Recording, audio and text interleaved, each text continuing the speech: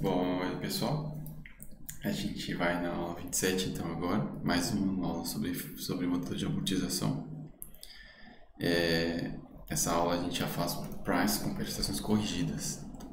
É, essa aula não é uma aula muito popular, particular, não sei se ela está no, no, curso de vocês, só que ela eu acho que eu acho muito importante, porque como vocês já viram falar, né, eu gosto de atualização pela inflação, e essa é a única aula que você vê a, a, foi feita a inflação e calcula uma planilha de amortização que considera de fato a, a inflação nas parcelas.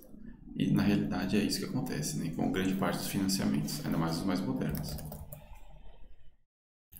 Então, quando a gente tem inflação, a maior parte dos financiamentos é, sempre fizeram isso, né? Depois eles percebem que está tendo inflação, então, o que eles fazem? Eles vão e corrigem o saldo devedor com alguma medida de inflação.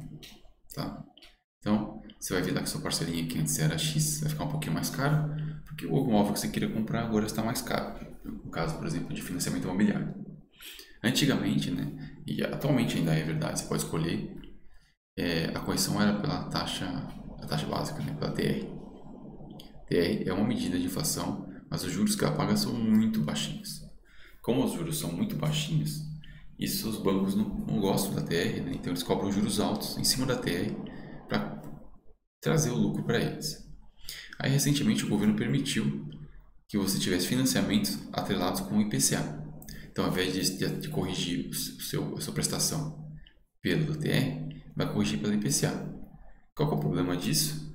Bom, vocês sabem, né? Se você acompanhou matemática financeira agora com a gente, a, inflação medida pelo IPCA atualmente está perto dos 8% e a TR está zero.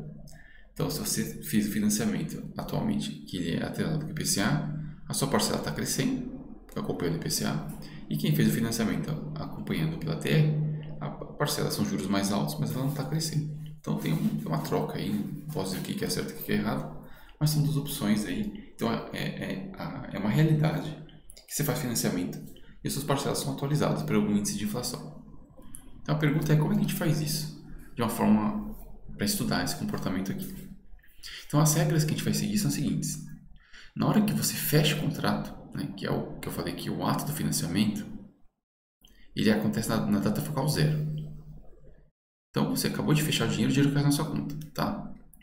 Nesse momento, o dinheiro que você pegou é o dinheiro que você pegou. Você fez o financiamento de 30 mil, é 30 mil que vai cair ali. E nesse momento a parcela é calculada usando o price usual. Lembra com price com parcelas antecipadas? Isso quer dizer que a parcela vai ser o valor financiado dividido por 1 menos 1 mais a taxa elevado a menos n dividido por i. Tá? Então, isso é o price tradicional que a gente está acostumado. Mas isso vai valer só para a data focal zero.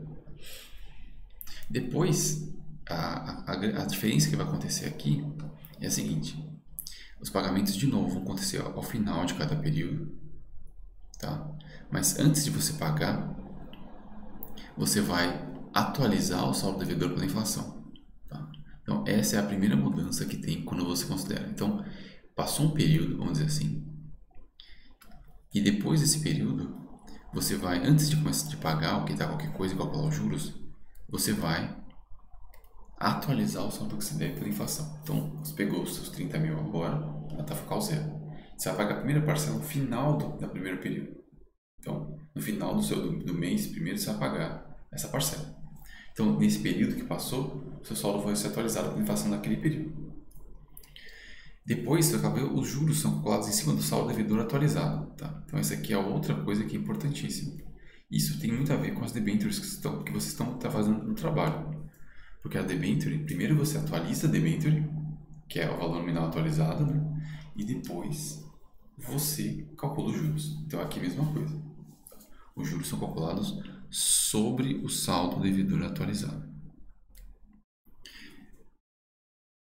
E aí, é, a parcela também ela é atualizada pela inflação. Então, é, antes de você fazer a conta de, de qual a amortização, você também calcula e atualiza a parcela da inflação. Tá? Então, o fluxo é o seguinte, você atualiza o saldo devedor, calcula os juros, se atualiza a parcela e só aí então sobra, o que sobra aí é a parte, a parte que vai amortizar o principal atualizado. Complicado? Deixa eu fazer um exemplo então. Tá? Então, vamos considerar essa tabelinha aqui da, do GPM né, que a gente já trabalhou. Não importa aqui os meses, tá? Então, pensa que isso aqui é o mês é, o, é associado com o mês 1, com o mês 2, o mês 3, 4 e 5. Então, isso vai ser necessário para o nosso financiamento. Então, a, é aquele clássico de sempre, né? A pessoa vai financiar um carro que custa 30 mil. Só para vocês verem o que vai acontecer aqui, né? Então, na data focal zero, ela recebe o carro. E aí ela vai fazer parcelas, teoricamente eram para ser iguais, mas não vão ser mais, porque agora você vai corrigir pela inflação. São cinco parcelas. Os juros é de 2%, né? Então, a taxa de juros é de 2% ao mês. Só que tem inflação. E a inflação vai vir dessa tabelinha aqui. Tá? Essa aqui é a tabela de inflação. Então, a inflação do primeiro período foi 1,51%. Então, onde foi encarar isso aqui? Aqui vai ter inflação né, de deste período aqui vai ter inflação de 1,5 1%. Além dos juros que teve aqui. Então, teve uma remuneração e uma atualização monetária nesse primeiro período aqui. Então, quando você for pagar sua parcela aqui, a parcela que você vai pagar aqui, ela vai refletir essa inflação que aconteceu nesse período. Tá? Essa é a primeira coisa. Então, o primeiro trabalho que a gente tem é calcular o valor da prestação na data focal zero. Esse a gente está careca de fazer. Né? Isso aqui é price usual.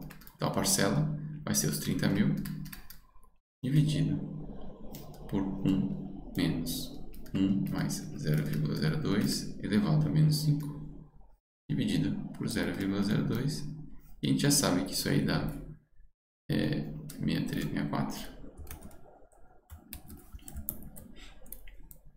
é, 6364 com 75 por que a gente precisa disso aqui?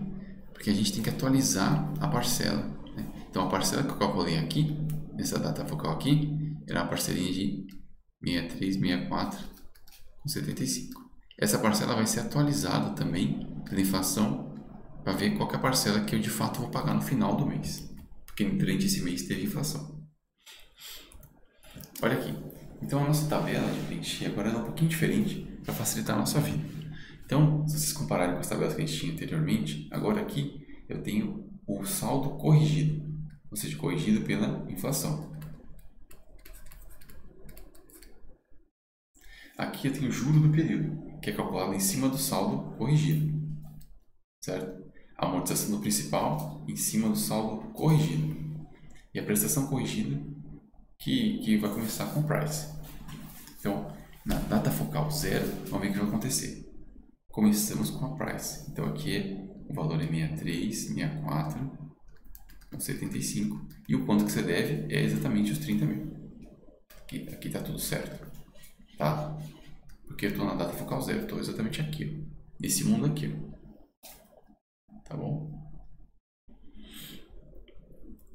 Tá bom, agora vamos olhar para o primeiro período. Então, no, no, final do primeiro período, né, que é onde marca 1, a gente vai pagar uma parcela. Então, o que vai acontecer? Eu tenho que calcular qual é o saldo corrigido pela inflação. Então, 30 mil corrigido pela inflação, qual que foi a inflação no período? 1,51%. 30 mil corrigido pela inflação é 30 mil vezes o fator da inflação, né, que é 1 mais 0.0151. Tá? Vou escrever aqui a continha. Então, aqui eu vou ter é, com cor azul 30 mil. Não é mais 30 mil que você deve. O que você deve agora é 30.452 com 53. 53, não tem nada. De onde veio esse cara aqui? Veio de eu fazer a continha de pegar os 30 mil e fazer uma atualização. 1 mais a taxa. 0,0151. Tá? É, se vocês estão trabalhando com a debênture de vocês, é exatamente isso que vocês, ou não é exatamente essa conta, né? Mas esse, esse fator aqui que estou circulando é aquele fator acumulado, né? É que eles não fazem isso todo mês, eles fazem isso por períodos, né? De seis meses. Então tem que fazer o acumulado de seis meses. Mas aqui, como a gente faz todo mês, na verdade é todo mês porque eu falo que é o mês, mas poderia ser períodos aqui, né? Então aqui teria a inflação do período acumulado. E essa inflação se atualiza o valor devido. Então, no, fim, no começo do período, antes de eu fazer o pagamento, eu atualizo Agora eu vou calcular o juro do período em cima desse cara aqui. Então, o juro do período vai ser o quê? É juros de 2% ao mês. 2% em cima do saldo valor atualizado, corrigido. Então, vai ser 0,02 vezes 30.453. Isso dá 609,06. De onde saiu esse cara aqui? saiu da gente fazer uh, 30.453 vezes os juros, 0,02. Isso aqui é os juros.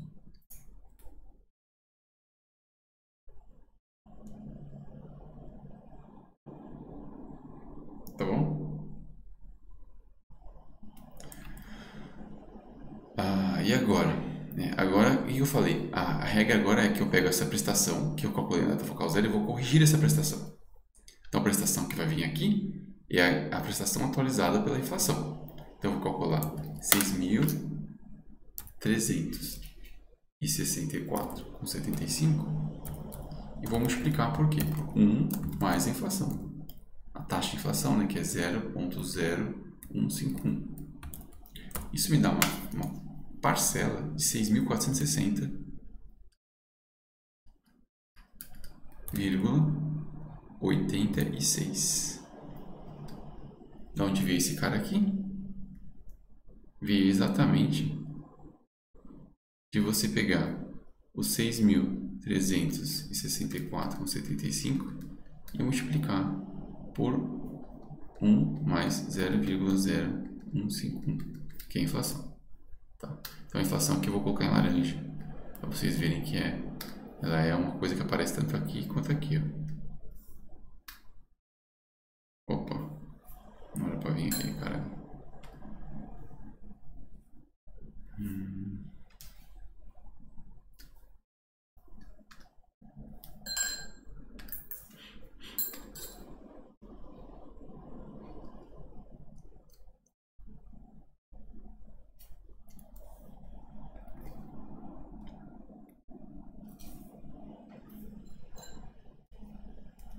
Tá bom?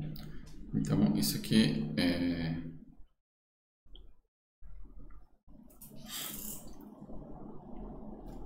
É assim que a gente atualizou aqui a, a, a inflação, a, a prestação. Então, eu tenho a prestação corrigida, eu tenho os juros do período, a amortização é simplesmente você pegar e calcular quem? A parcela, que é 6.460 0,86 menos 609,06. Então é 6.460,86 menos 609,06. Então a amortização é 5.000. Que cor que eu vou usar aqui? Rosa. Ah, não, é roxo, azul. 5.000 851,80. Se essa é a amortização, eu vou descontar a amortização do principal atualizado, né? Corrigido, na verdade, né? Que a gente está usando aqui a palavra corrigido.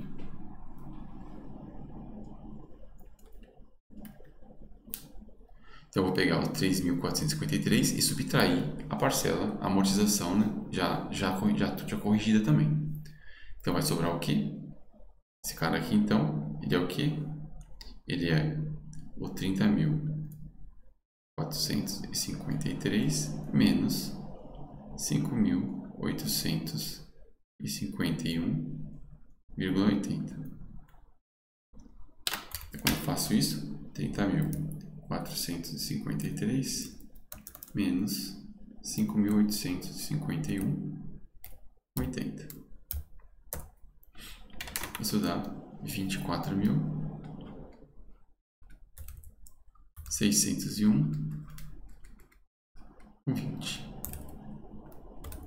Entenderam?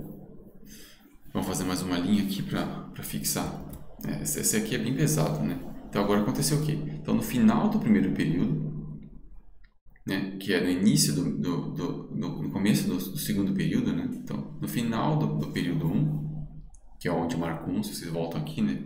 Aqui, é, nesse momento aqui, eu devo 24.601. Então, vai acontecer o quê? Vai pular mais uma inflação para cá. E a inflação desse mês aqui, de nossa tabela aqui, é de 4,10%, que é uma coisa bem pesada. 4,10%. Então vai ter uma inflação e eu vou ter uma nova parcela aqui. Uma nova parcela, um novo saldo devedor. Então vamos ver o que vai acontecer. Então aqui, saldo corrigido. Então para eu olhar para o mês 2, né, que é onde a gente está olhando aqui, ó, desculpa, aqui tem 1, um, né? Aqui é o 2. Aqui é o 3, aqui é o 4, aqui é o 5. Então, no período 2, o 2 marca o final do segundo período, tá bom? Que é essa parte aqui. Aqui é o segundo período. Então, no final do segundo período, eu vou pagar mais uma parcela. Então, antes de eu pagar, eu vou pegar o valor que eu devia no final do primeiro período e vou atualizar pela inflação. Então, 24,601 com 20, 24,601 com 20, vou multiplicar pelo fator da inflação que é 1 mais 0.4, esqueci, 10, 0.041. Então, isso vai dar uma saldo devedor de 25.609. 25.609 com 85. Certo? Isso aqui veio da onde? Veio de eu pegar esse saldo devedor de 24.601,20 e atualizar pela inflação, né? pelo fator da inflação que é 4,10%, ou seja, 1 mais 4,10%. Tá? Agora os juros, que é o verdinho, é calculado em cima desse cara aqui, dos 25, ou seja, pegar 25.609,85 e vou multiplicar por 0,02 está 512 com 117. Ah, 1,2. Ah, eu pego o vermelhinho, né, que é a parcela, e atualizo ele novamente. Então, dá 6.460,86. 6,460,86. E multiplico isso pelo fator da inflação. 1 mais 0,041 então, minha parcela agora é de 6.725,76. Certo? E agora que eu tenho a prestação corrigida, que foi a prestação anterior atualizada pela inflação, né? eu tenho os juros, então a parte que é a amortização é 6725.76 menos 512 com 20. Então isso aqui vai dar 6.213,56.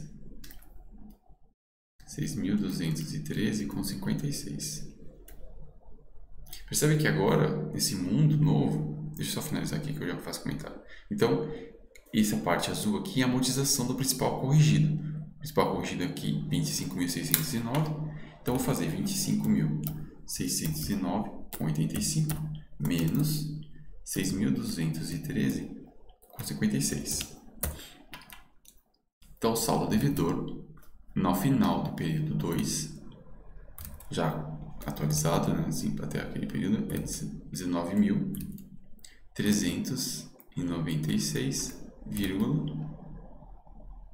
19.396,59. 29. Tudo bom? Então eu sugiro que vocês tentem fazer as próximas três linhas e, e a gente vai para a planilha para comparar, ver o que acontece, né? para não ficar muito, muito entediante isso aqui. O que é importante vocês observarem é que as parcelas agora, como são corrigidas, elas não são mais fixas. Né? Então isso aqui é o price, é o price corrigido. A amortização continua sendo aplicada sobre o valor corrigido, assim como os juros também. Então lembrando que esse valor cinza aqui na direita é o valor devedor no final do período 2. Quando você vai pagar a sua dívida, né? então é o saldo corrigido, ou seja, no final do período 3, você vai corrigir o saldo do devedor do final do período 2 pela inflação.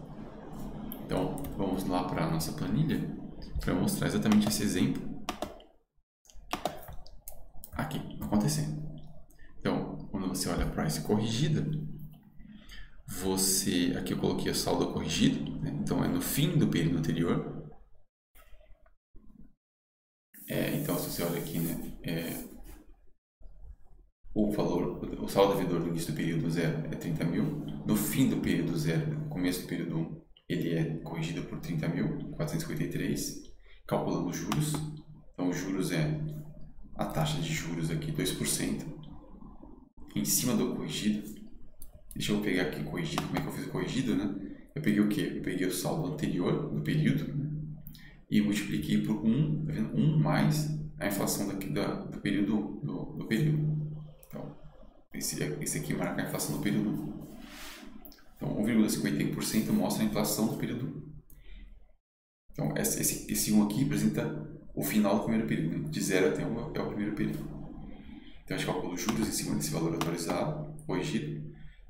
É, a parcela, se você olhar aqui, eu peguei a parcela anterior e também atualizei ela pela inflação. Né? Então, multiplico ela por 1 mais a, a taxa da inflação. Isso aqui dá o fator e arredondo.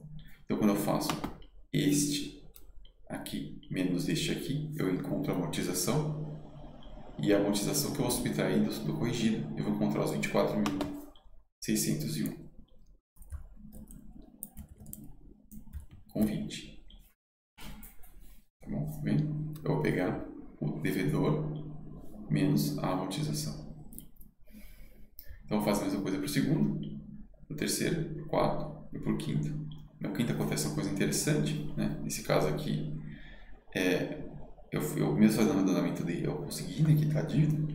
Então, no final do, do, do último período, você devia, no quarto período, você devia 6.685, você atualiza pela inflação, vai para 6.729. Essa atualização, de novo, é feita com uma inflação de 0,66%. É 1 mais essa taxa, me dá o fator. Cálculo dos juros. A parcela é calculada como atualização, correção né, da parcela anterior, tá vendo? Pelos mesmos juros, pela mesma inflação. E aí você encontra a parte da amortização e ela bate exatamente né, com, nesse caso, com a, o que eu devia. Isso aqui dá zero, que é o que tudo tem que ser. Então, lá na planilha que vocês vão fazer, tem que dar zero na último bloquinho ali da direita, que representa exatamente que vocês quitaram a dívida. Tá? Nesse caso aqui eu fiz arredondamento, mas não fez muita diferença. Uma coisa interessante aqui, se você observar a planilha, né? aqui estão as informações do problema. Então aqui é 30 mil o que eu pedi, 2% da taxa de juros, parcelas, e eu calculei aqui a parcela da price, que foi o que eu repeti aqui. Mas isso não importa muito, né? Porque ela só foi usada para a primeira parcela, depois a gente foi atualizando ela. Então, eu já falei para vocês que não fazia sentido somar as parcelas, mas agora não faz mais sentido somar a amortização. Por quê? Porque como tem inflação, essa amortização aqui ela não vale mesmo, ela não está no mesmo período que essa aqui. A inflação faz com que essas duas sejam incomparáveis. Então, se somar isso aqui dá 31.724, não representa nada. Né? Você pode ver aqui que isso aqui não bate com 30 mil, dá mais, e também não bate com 30 mil atualizado. Se você pegar aqui e usar a função VF plano, que vocês me ensinaram, né? que ela faz a atualização, eu pegar os 30 mil e atualizar pela inflação, você vai ver que vai dar 32 mil. É, então, esse, esse, número aqui, 31 mil, não representa nada. Dá dica de nada. É, uma coisa, duas coisas interessantes para finalizar essa, essa aula são essas duas colunas aqui. A primeira delas é, é, é, é o item 3 da, nossa, da, da aula ali, que é que se você pega e calcula a parcela price para esse saldo devedor aqui, de 30.434, desculpa, para esse saldo devedor aqui do final do primeiro período, se você calcular price para esse valor aqui, o jeito tradicional, usando a fórmula, você vai encontrar exatamente a parcela corrigida. Olha aqui, aqui eu fiz a fórmula, se vocês olham aqui em cima, eu fiz a fórmula, né, que é pegar o valor devido, nesse caso é o, o, o laranjinha 24.601, e dividir pela nossa equação de fórmula, só que o número de períodos agora são 4, que eu tenho 4 parcelas para finalizar. Aqui em cima eram 5, agora são 4. Então, você faz essa conta, você vai encontrar exatamente a parcela corrigida. Isso vale para qualquer período. Então você pega aqui o período 3, né? Se você olha aqui, você deve quanto? 13.136. Né? No final do período 3 você deve 13 mil. Então faltam duas parcelas para vencer. Dois períodos. Né? O 4 e o 5. Então se você olha o 3, o período 3 e deve isso aqui, você calcula qual deveria ser as parcelas do price para quitar essa dívida, você vai encontrar exatamente 6 mil é, 766,11. Então, essa é uma propriedade muito interessante dessa tabela aqui. Embora esteja corrigindo a price, se você calcula e faz a, como se fosse a, price para o mundo, a partir daqui não tem mais inflação, essa é a parcela certa. Então, a parcela corrigida aqui bate exatamente quando você faz a price verdadeira, né, a nossa price conhecida, para esse saldo devedor aqui já atualizado. Então, isso é uma coisa muito legal. Isso bate para todos os meses, né? É, menos por último, é que você não deve nada. Uma outra coisa legal é que se você pegar e pegar as parcelas e elas para a data focal zero, descontando os juros e inflação e somar, você conta 30 mil. Professor, como é que eu desconto os juros e inflação? Da mesma forma que você desconta os juros, você pega e divide pelos fatores. Então aqui, ó, essa parcela aqui, né, que era a parcela da, do período 1, para eu voltar para a data focal zero, o que eu tenho que fazer? Eu tenho que voltar pela inflação de 1,51% e pelos juros de 2%. Então, essa parcela aqui é quando eu pego o valor 6.460 e divido pelo produto do fator do, da inflação pelo produto pelo fator da, da taxa de juros. Né? Então, 1 mais a inflação vezes 1 mais a taxa de juros. Se não tivesse inflação, você remove essa parte aqui, ó, ia ficar só o que vocês conhecem, que é o transporte. É, volta para o passado, né? para o transporte composto. Essa coluna aqui não é muito importante, é só uma curiosidade mesmo. E essa sim pode somar. Né? Essa é a única coisa que você poderia somar.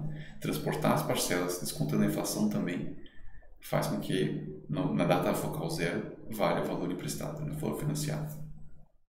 Tá? Essa tabela está disponível para vocês e recomendo vocês tentarem fazê-la para resolver o exercício dessa aula. Deixa eu voltar aqui só para terminar.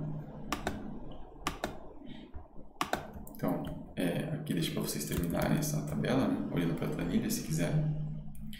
É, então aqui está a questão que eu falei para vocês, né?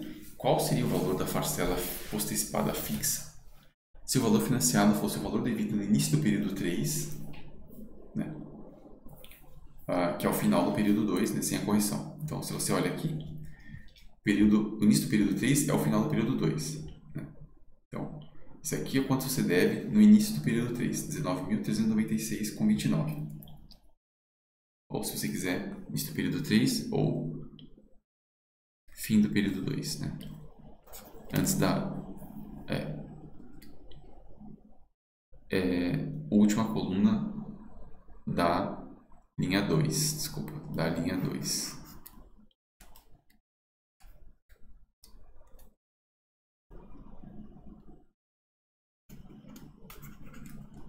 É o fim do período 2. Nas mesmas condições de juros, que é 2%, né? por um prazo de dois meses. Então, se você olha para cá, então, se, se você está com esse valor aqui devendo 19.396 e vai fazer, tentar fazer um financiamento desse valor aqui com 2% de juros para o sistema price, como é que você calcularia isso?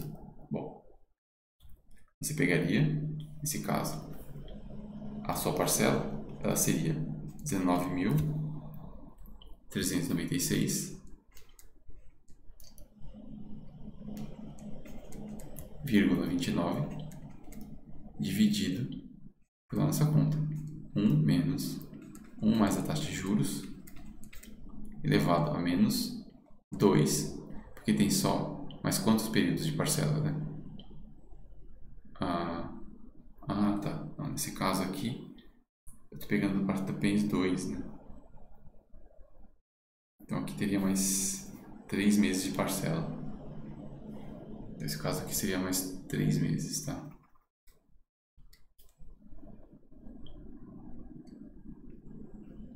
Da linha 2. Então aqui seria mais 3 meses de parcela dividido por 0,02.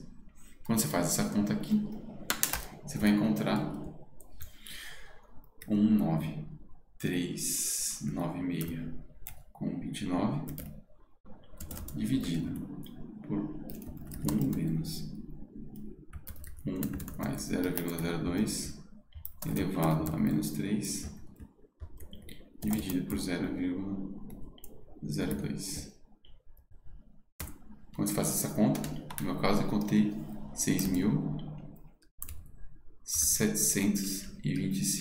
6.725,75 que bate, ah, bom, a menos de um, de um centavo, né? Bate exatamente com este cara aqui.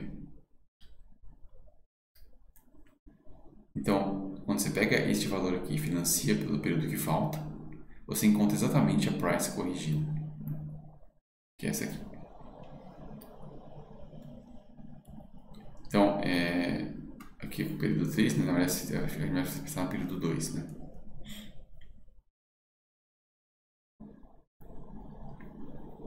Então, quando você olha o período 2, o valor devido é 6,725,75. A parcela é 6,725,75.